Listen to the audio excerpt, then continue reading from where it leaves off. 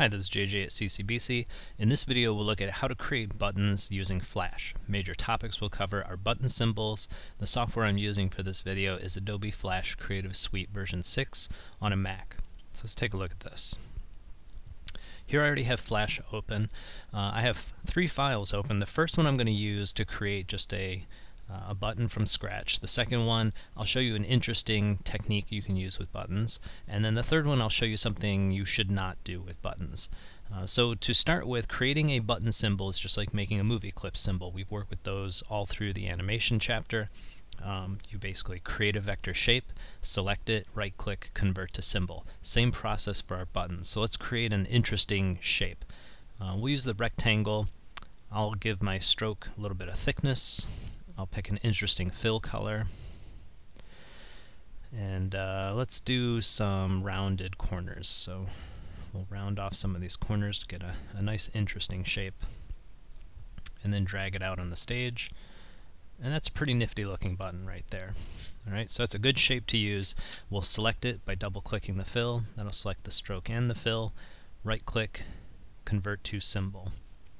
So in the past, we've used the movie clip symbol type. This time we're going to use the button symbol type. So we'll put button under type, and we'll give it a name. I'm not going to be very creative here. We'll just call it button, and hit OK. So now it's been converted to a symbol. You can see the invisible container that is the symbol, and the vector shape inside.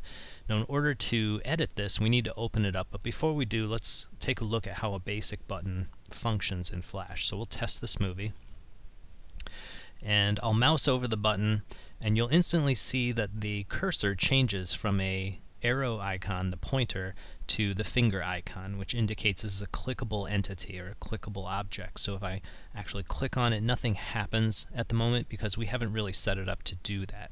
Um, so let's set up some visual interactivity with our button. So I'm going to double click this to open it up. You'll notice we no longer have the symbol container. We're now down to the vector shape, the fill, and the stroke. And you can see we're inside of our button in scene 1.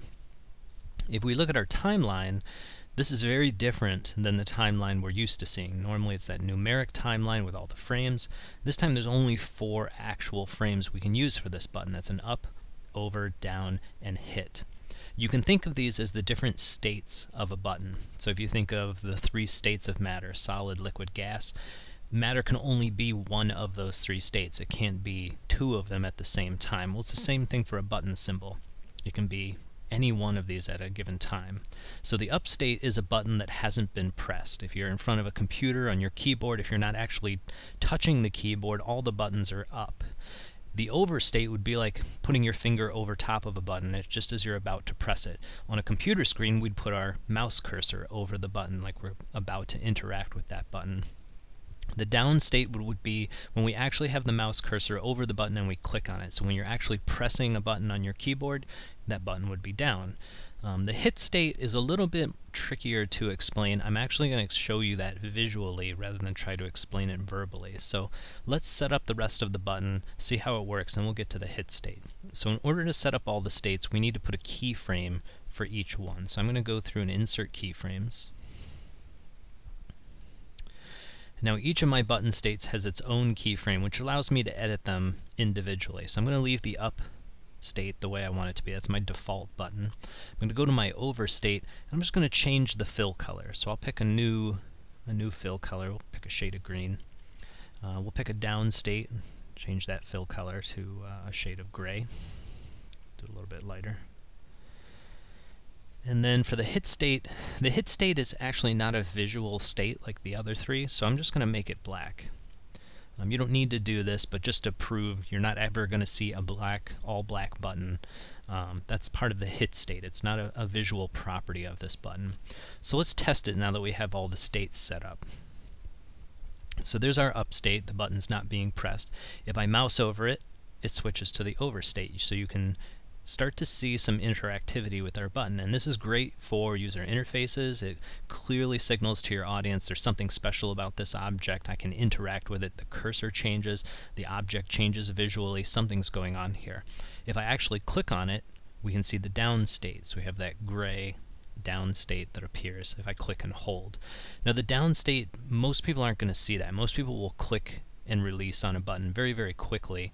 Um, so you don't see too much with the down state. That's why I chose sort of a gray, and I tend to do that with my buttons. Um, it's up to you if you change the color of your down state or not. It's, it's just not going to be seen very much. Um, the hit state, let's take a look at that. So here we have our hit state. What I'm going to do is I'm going to select half the button and delete it. And then we're going to test it. And let's see what happens here. So our button hasn't really changed visually, but what I'm going to do is start from the right side and slowly drift to the left. So as soon as my cursor touches the right side, nothing happens. I haven't actually hit the button because the hit state doesn't start until about the middle of the button. Now that I'm on the left side, this is where the hit state exists, or the area that I defined as part of the hit state. So I can click and interact with the button on the left side, but on the right side, it's just a button. Even if I click on it, nothing happens. Um, it's actually just a shape. It's not even an interactive button at this point. Even the cursor hasn't changed. So that's what the hit state does. I'm going to undo what I did there, restore my button. So now I have the full hit state. Um, I can't think of an instance when you would change the hit state to look different than the rest of the button. Visually, you pretty much want the button to be interactive no matter what state it's in, and the hit state should, should match the other states. Okay, so now we have our fully interactive button. The last thing we want to do is label this button. So one mistake students tend to make is they'll um, put the labels in the same layer as the background of the button. We don't really want to do that. I'm going to lock this.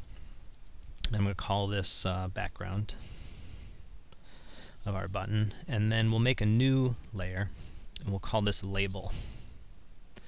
So here we're going to put a text label on the button. Now we could go and do individual keyframes, but that's actually a bad idea. We want whatever label we put on this button to be consistent across all states of the button. Um, so I'm going to double click on the first keyframe. That'll select all the frames. And now I can go in and use my text tool and create some a text label. I'm going to change this to white since I have such a dark background. Um, I have it centered by default and then so I can just click on the center of the button. It'll be pretty well positioned. Uh, we'll just call this button and I'm going to deselect it, go to the selection tool, and use my arrow keys on my keyboard to position it a little bit better. Now I could go in with the text tool and make some changes, make it uh, a little bit nicer if I want to um, in terms of size so that the text fills the button more, but I, think that's good enough. Now if I run it, you'll notice I can click on my button, I can mouse over the button, and the text label doesn't move. It's in one position no matter what the different states are. It looks very nice. This is a nice easy interactive button to create. So let's look at something a little more advanced you could do with a button. So here I've set up a button. Um, it's in the shape of the state of Texas. So let's say I wanted to make a map of the United States and I took the time and made 50 different shapes, one for each uh, state in America, and uh, convert them all to button symbols. What I did with this one, if I open it up, you can see I actually don't have a label in the first frame here. I actually put an empty keyframe in there, but I have some filled frames here that you can't see in the up state. So when I go to the over state, you'll notice here you can actually see the label for Texas. Um, so if I run this, when my project first loads, I might see a whole map of the United States, but as I mouse over different states in the Union, there's Texas. And the text label would appear underneath the button. You could have the text label appear on top of the button. You could even have it so that if I mouse over the state, it gives me a whole bunch of information down below. Say the state bird, state flower, um, when it was um, brought into the Union, etc. Um, there's a lot of things you could do with this overstate that introduces new information to your project. Just remember this is a clickable uh, object, so your audience is going to expect when I click on it, something should happen. Um, and you could make the click show information. It's up to you. One last thing I did want to show is what not to do with a button. Um, let me run this one real quick. So this is a common mistake students make. They set up their button, they set up their label layer, and then they put a bunch of keyframes in, and when you mouse over it, you notice it's not that easy to put the text in exactly the same spot on all of the different states of the button. So if we open this one up, here you can see I actually went in and did several different keyframes. Um, and the pitfall of this is each text label could be two or three pixels off, which isn't a big deal in the larger scheme of things, but when it comes to polishing your projects and doing professional work, um, that's a huge deal. So if we compare that to the first button we made, which has absolutely no shifting in the text because we did the the label layer as all one set of frames. There's only one keyframe at the beginning which sets the position for all the uh, successive frames after that. Um, this is a much more professional, better looking, much more polished button if you were to make one. So hopefully you learned something about making buttons. See you in the next video.